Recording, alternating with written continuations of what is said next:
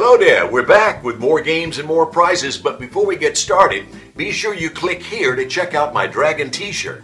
For every t-shirt you buy between now and this Sunday, I'll give $5 to Dream Factory to kids who really need it. But now let's get on to the games. Randy, what's up for grabs?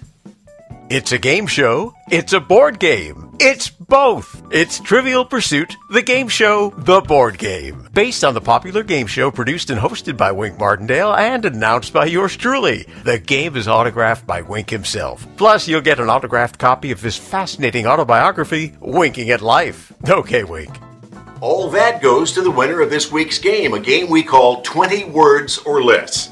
Sir Randy, will you please tell everybody how we play?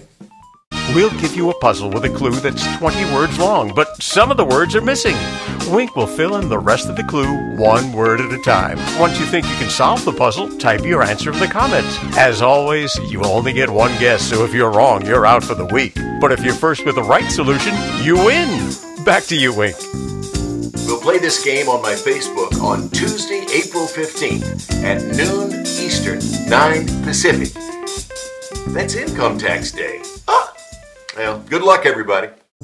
This contest is only open to U.S. residents 18 years of age or older. Players may not be directly affiliated with Wink Martindale Enterprises, Caleb Nelson Entertainment, or JRJ Games. Ineligible players forfeit all prizes. Winning players may only win one prize per calendar month. No purchase necessary. Void when prohibited.